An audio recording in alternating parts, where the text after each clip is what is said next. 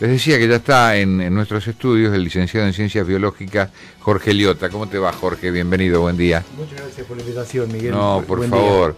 Este, gratamente sorprendido cuando recibí días atrás una, eh, por correo electrónico una gacetilla en, en la cual veía la remodelación del, podríamos decir, antiguo este, Museo de Ciencias Naturales Padre Escaso, ¿no? Sí, sí, sí, sí. Porque ¿en qué, ¿en qué año el, Padre Escaso hizo, comenzó con esto o le dio forma de, museo? Y empezó en un momento que para nosotros es indeterminado, porque digamos la pasión por la colección ha venido desde su juventud, evidentemente.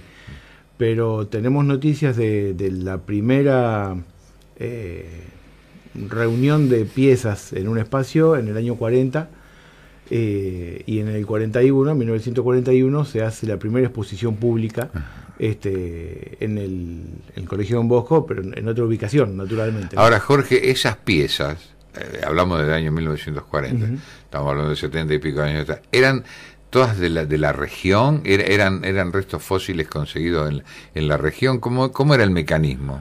Y este, era muy diverso en realidad el conjunto de piezas que había en ese momento.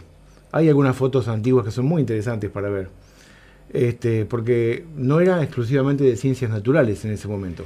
Es decir, el, padre ¿Qué abarcaba? el padre Caso tenía, era un coleccionista nato, digamos, y tenía eh, colección de monedas, de numismática, colección de eh, estampillas, había armas, había uniformes militares. Y también había este, mucho de ciencias naturales, fundamentalmente. Es decir, que era un museo integral en principio. Era un museo, eh, claro, muy, muy, muy ecléctico, mm. digamos, no era de ciencias naturales. Era un museo más al estilo eh, de los que, del que hoy se puede encontrar en, Nono, en provincia de Córdoba, que es el Museo Roxen. Este, con muchas piezas y muy diverso. Así que, y como, y no solamente regionales, porque bueno, el hecho de que sean monedas ya nos habla de algo claro, global. Claro, claro. Pero, de, ciencias naturales dentro de ciencias naturales también eran eran eran tan eh, abarcaban distintas zonas del país o eran todos restos que se habían encontrado en la zona. A eso me refería. las dos cosas, porque el padre Caso también salía con los chicos del colegio de Bosque de aquel momento, muchos eran pupilos, otros no. Este, hacer recorridas al campo, en ese sentido era medio un, precursor de la educación ambiental o de las, las salidas de interpretación y con ellos cuando había un hallazgo de restos fósiles por alguna construcción o porque simplemente aparecía, allá iba el padre escaso y mm, reunía material para la colección. Es decir, que fue un pionero en esto, ¿no? Fue un pionero realmente. Uno ve fotos de la década del 50 y, lo ve con grupos de chicos en lo que era el museo en aquel momento, eh, ve salidas de campo en el Molino Santa Clara, ve eh, que sacaba a los chicos a la isla en embarcaciones. Eh, cosa que uno no se, no se, imagina, que pasaba en esa época ya, ¿no? Eh, ¿Desde cuándo estás eh, haciéndote responsable del, del, museo? ¿Desde qué época? Desde 1991. Sí, yo recuerdo cuando, cuando viniste, creo que hicimos alguna vez, en esa época hicimos una entrevista para la televisión de San Nicolás contigo. Exactamente. Bien, ¿y se fueron cumpliendo las expectativas que tenía cuando, cuando volviste? Sí, ha sido muy difícil porque Imagínate que el 91 marca el inicio de la década del 90 con todas las connotaciones políticas, económicas que, ha habido este, desde entonces. Pero eh, yo creo que sí, que, que, hemos logrado hacer un montón de cosas de lo que queríamos. Este, por lo menos eh, el, museo persiste. En los últimos años ha crecido mucho. Ahora, afortunadamente, estuvimos haciendo la reapertura del nuevo espacio, que es un espacio muy lindo, muy amplio eh, que está en la planta alta del Colegio Don Bosco, lo que era el salón de fiestas.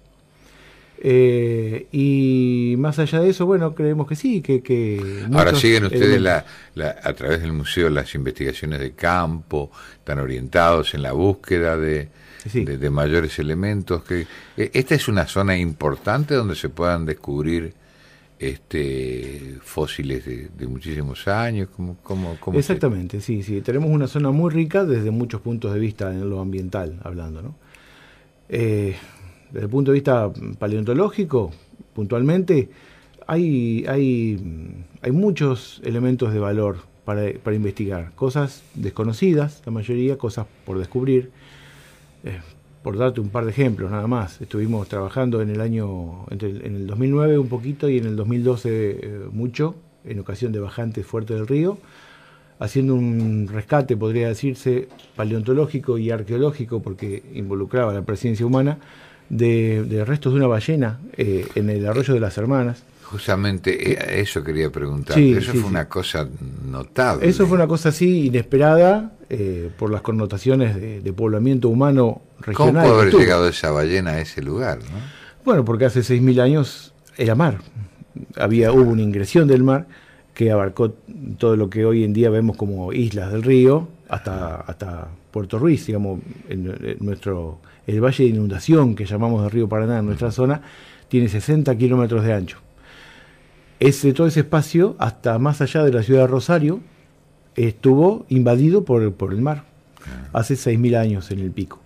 Y bueno, en ese mar había organismos marinos y, y así fue que llegó la ballena a quedar ahí varada morir y ser aprovechado. ¿Y eso estaba eh, justamente en la desembocadura del arroyo de las hermanas? Sí, muy a poquitos, a unos 300 mm, metros de la desembocadura actual del arroyo. Y paralelamente con estos hechos, eh, han, han, ido hallando otras pruebas de, de, de, gente que habitó el lugar muchísimos años atrás, restos de otro tipo. Sí, hemos estado trabajando mucho tiempo, o desde hace mucho tiempo, con un arqueólogo reconocido, que es eh, Daniel Loponte, no es de San Nicolás, eh, trabaja en el Instituto Nacional de Antropología y Pensamiento Latinoamericano, se llama. Él hizo su tesis en, en arqueología de, humedales, o sea, de las islas del Delta de Paraná, y con él venimos trabajando hace mucho en la detección de sitios arqueológicos. ¿sí? ¿Cómo, eh, se hace para detectar un sitio arqueológico? bueno, si yo te doy, digo, bueno, vos tenés sede en San Nicolás y, a ver, manejate en una jurisdicción de, de 50 kilómetros, 100 kilómetros a la redonda. ¿Cómo, ¿Cómo haces para detectar dónde puede ser? ¿Te basás en qué fundamento? Eh, hay diferentes planos, ¿no? Eh, un plano primero, primero y principal, porque hoy en día el tema es candente, el plano legal digamos, no cualquiera puede ir, puede detectar, pero no puede extraer piezas o trabajar en sitios arqueológicos si no tiene un permiso. Claro, porque estaría invadiendo la propiedad privada. No, no, no, no, no, no permiso de los propietarios, sino permiso del Estado para hacer un estudio de ese tipo. Porque, ah, el Estado te tiene que autorizar. Sí, exactamente. Aún sabiendo el propietario de un campo que el campo es de él y que está. Sí, pero los bienes de paleontológicos y arqueológicos son públicos, no son propiedad del dueño del territorio. Ah. Más allá de que obviamente hay que pedirle permiso al dueño cuando uno quiere ingresar para hacer un estudio, ¿no? Pero son como dos cosas distintas. No sabía lo otro, sí, por eso. Sí, sí. Entonces, eh, el estudio puede ser hecho por un equipo de gente que tenga especialistas en el tema que corresponda, arqueología o paleontología, que tenga un permiso en la jurisdicción que corresponda, que son provinciales en este caso, este, y que tenga un proyecto de investigación afín a lo que está por ser investigado. ¿Alguna línea histórica también que, relate sucesos de la época los puede ubicar en el sitio? Eh, sí, sí, sí. Eh, desde el punto de vista legal, eso que te digo. Después, desde el punto de vista de los rastros o pistas que uno puede eh, ver, depende en ese caso de la ubicación. De alguna manera, en la zona de islas, por ejemplo, hay ciertas variaciones en el color de la tierra o en la fisonomía de la vegetación que te da la pauta de que ahí hubo antiguamente, un, como le dicen, un cerrito o un, lugar de asiento de los indios, ¿sí? que por la propia presencia humana a lo largo de mucho tiempo, porque estamos hablando de miles de años de poblamiento antes de la llegada de los españoles, este, eso adquirió una fisonomía distinta. Más allá de que los aborígenes en zona de islas elevaban artificialmente el terreno para sustraerse de las inundaciones. Claro, para protegerse del agua. Exactamente. Y en tierra firme es más difícil porque el, grado de alteración del territorio es mucho mayor en nuestra región. Hay que estar pensando que tenés que trabajar sobre un terreno que fue arado, que fue camino, que fue modificado mucho. Entonces ahí hay que pensar como indio y decir, bueno, ¿dónde yo me hubiera puesto? Estaría a la orilla de un arroyo, en una zona alta, donde hay agua Ir haciendo deducciones. Exactamente, es testivesco de alguna manera, ¿no? Claro, claro, hacer un trabajo de detective. Sí, sí, es muy interesante, por supuesto. Y después, lo fortuito, siempre hay hallazgos fortuitos que a uno le dan la pauta de que algo hay y bueno, se pone, se pone a trabajar. Y a, partir de ese momento este, hay hallazgo. Eh, eso te abre la posibilidad de que sigan trabajando en la zona porque no solamente van a encontrar una cosa dispersa en ese lugar, sino que se supone que puede haber más más hallazgos en, en, esa en esa área, ¿no? Y sí, sí, siempre hay que ser muy prudente en el trabajo de campo una vez que uno está metido en eso, eh, pensando en un futuro, porque hoy en día se trabaja con ciertas técnicas y con ciertas metodologías y con ciertas capacidades este, tecnológicas de análisis, ponele. Pero eh, a veces hay que dejar espacios para el futuro, tratar de ser lo menos destructivo posible. Claro. Porque en el futuro pueden aparecer técnicas nuevas, no destructivas. Hoy en día hay radares, hay cosas que, no disponemos, pero que hay y que este, sería una pena romper evidencia que después podría ser mejor claro, estarían faltando. ¿Trabajan con detectores de metales ustedes también? No, nosotros no, porque no trabajamos. Digamos, eso sería más bien para una rama de la arqueología histórica es decir, de una arqueología de, más reciente, donde ya había... Pero ¿y eso no los ayudaría de pronto para ubicar ese, no sé, el escenario donde han ocurrido muchas cosas que también pueden ser depositarios de temas que hacen eh, que son inherentes a la especialidad de ustedes? Eh, sí, de todas maneras, nosotros no, no nos dedicamos a lo que es eh, los últimos 500 años. No, no es que nos dedicamos. No nos hemos encontrado con ese tipo de cosas, ni, ni son las líneas del museo en sí. Nosotros más bien estamos trabajando sobre más, más antiguo, digamos, ¿no? Estamos hablando de restos arqueológicos que tienen entre 500, 600, 700, justo ahí la interfase de la llegada de los españoles hacia atrás. Mm. Este, entonces los restos metales son bastante escasos en, en, nuestros grupos aborígenes. Claro. Este, más bien usamos otras técnicas. Hay otra gente, sí, eh, mucha gente, eh, hay un grupo de arqueólogos liderados por Mariano Ramos, que es muy reconocido, que hace años está trabajando en vuelta de obligado, en ocasión del primer combate. Claro, allí, allí hubo combate de obligado, perdón. Y ellos sí trabajan con otras técnicas porque están eh, analizando otro tipo de restos posibles, ¿no? Donde sí hay mucho metal. Eh, la zona de isla, la citaste recién al pasar, ¿no? Eh, es, es, rica, es una prácticamente una usina de, de, restos. En algún momento se hablaba que se encontraban muchas piezas alguna vez, no sé si fue la, la, fantasía popular que hablaba de, de, que se había descubierto en una de las islas vecinas una suerte de, cementerio indígena, o, todo eso no pasó de ser más que un rumor. No, no, no, son, son cosas ciertas. Eh, este, este investigador que te digo, Daniel Loponte, en su tesis sobre los, la arqueología en la zona de islas, eh, comenta que antes de la llegada de los españoles, la isla estaba muchísimo más poblada que la tierra firme, que arriba de la barranca, digamos, que la pampa, porque los recursos eran muy superiores. Tanto que comenta que probablemente se hayan dado eh, cuestiones territoriales de, luchas o de enfrentamientos entre grupos claro, por, por los recursos, ¿no? Este, entonces uno se puede imaginar una población muy muy grande eh, que no estamos hablando de millones de personas, siempre en la capacidad de suministrar recursos del sistema natural, este, pero superior a lo que es hoy en día La Pampa, que es una situación opuesta a la nuestra. ¿no? Entonces eso generó a lo largo del tiempo muchos sitios. Claro, varias generaciones. Muchas generaciones. Imagínate que en realidad eh, los sitios más antiguos en el Delta, en nuestra región, eh, son eh, fueron descubiertos hace un par de años atrás, cerca de Puerto Ubicuí, y tienen unos 2.600 años de antigüedad. No pueden ser mucho más viejos, Miguel, porque imagínate que antes de eso hay un mar. Eh, solamente pudieron colonizar ese nuevo territorio que iba quedando al descubierto cuando el mar fue bajando después de ese periodo. Entonces no, no es posible que sea muy antiguo el poblamiento en isla. Pero de 2.000 años para acá hay muchas generaciones. Jorge, ¿se puede saber con precisión la antigüedad de los restos al margen de los datos históricos que puedan surgir y que los puedan relacionar, eh, eh, eh, técnicas especiales para... ¿Alguna vez se hablaba del carbono? Claro, el carbono 14. Por carbono 14, ¿no? Sí, el carbono 14 es un para nuestro... ¿Y, eso te, da precisión? Sí, te da precisión, sí, sí. Depende de la muestra y depende de la técnica, porque hay varias dentro del propio carbono 14, pero estamos hablando de pocos años de error.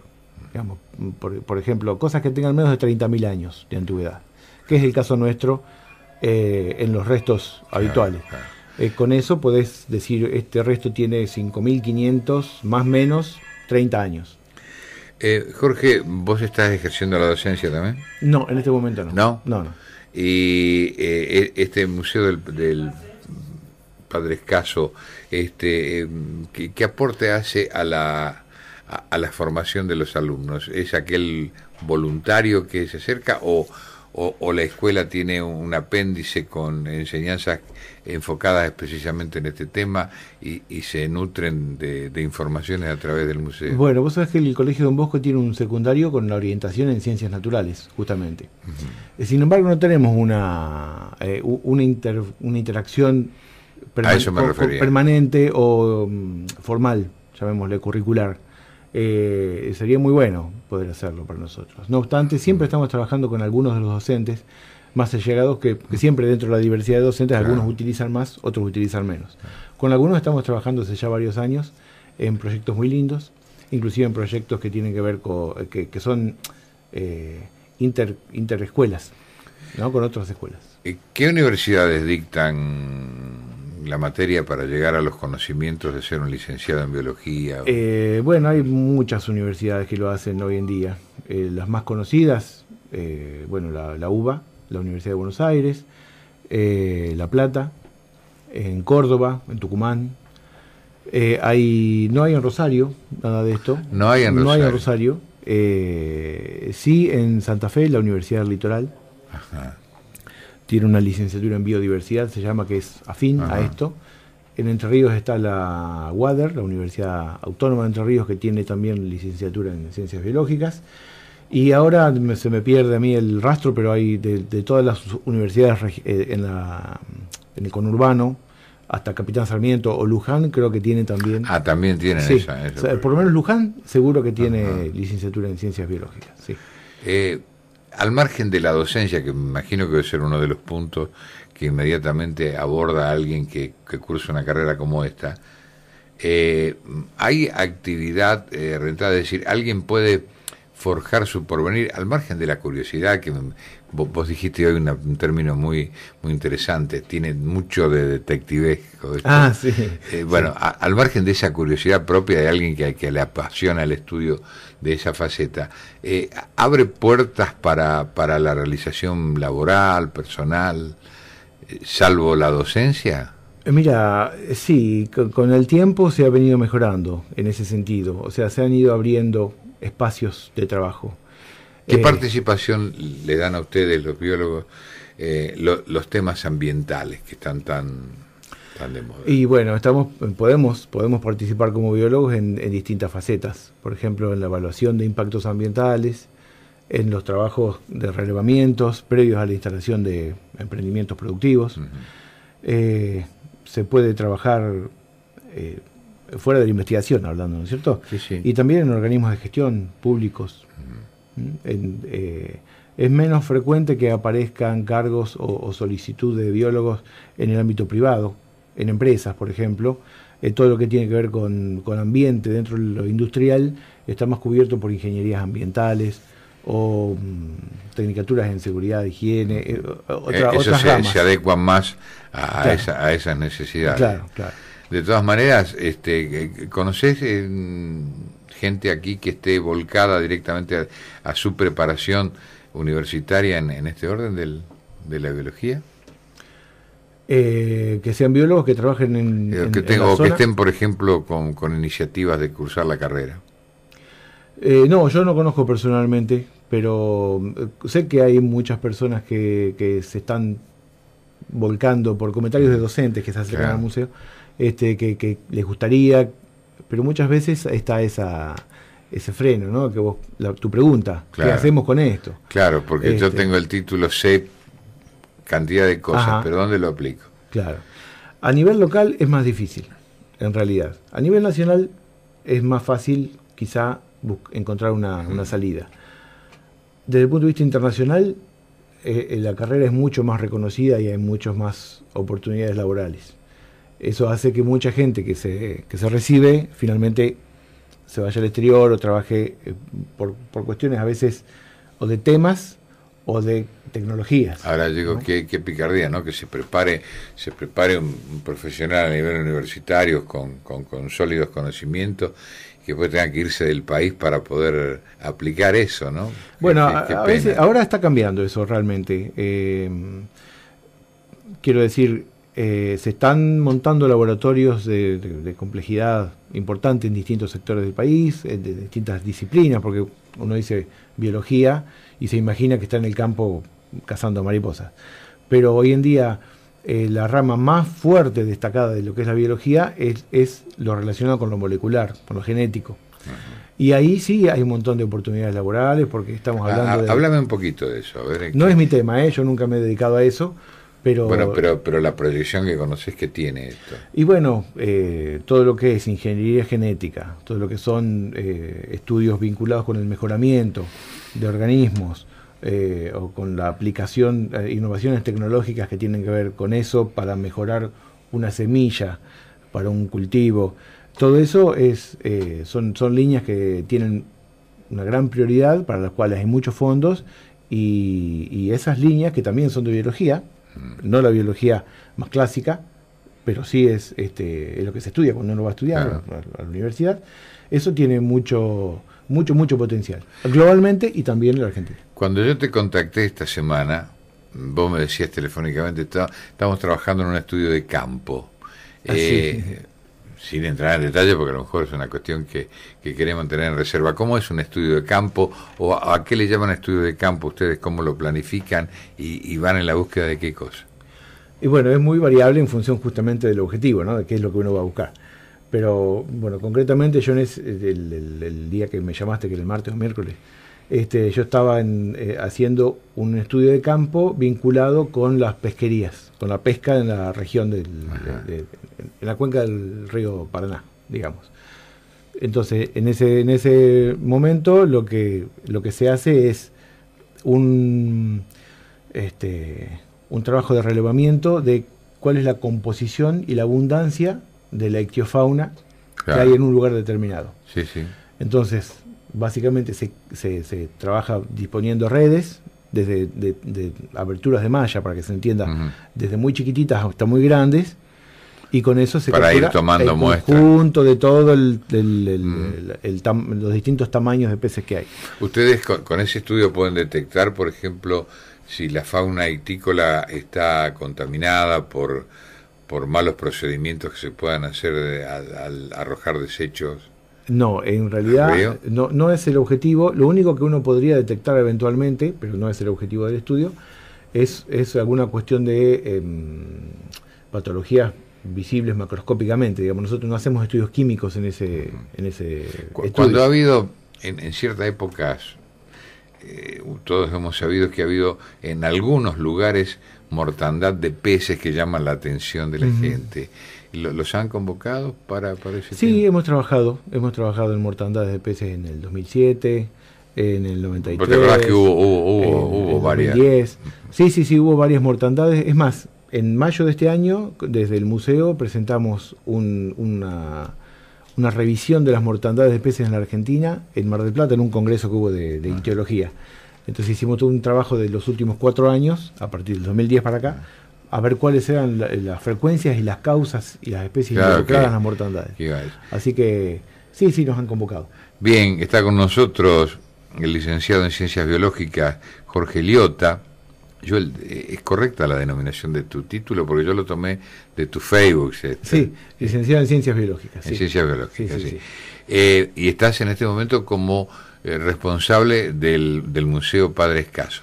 Sí, por suerte en el último, ya hace años, en realidad ya hace varios años, estoy compartiendo esa responsabilidad con un equipo muy lindo de gente, este, porque no soy yo solo el museo. No, no, no, por supuesto. Este, es indispensable la presencia y el trabajo de, muchas personas.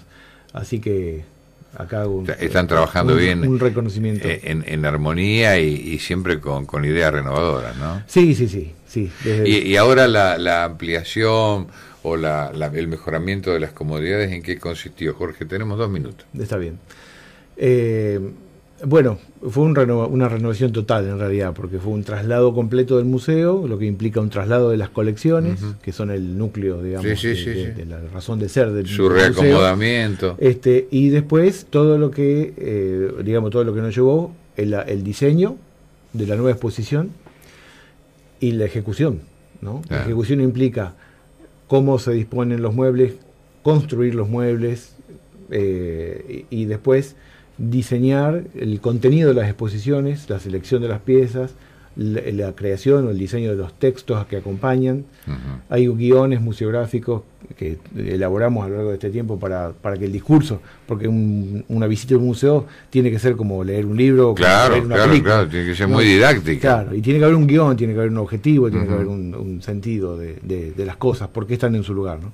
Entonces, bueno, la verdad que fue un trabajo bastante arduo, no está terminado porque... Eh, Pero ya se puede visitar. Sí, sí, sí, se puede visitar. ¿En qué horario funciona, Jorge? Se puede visitar.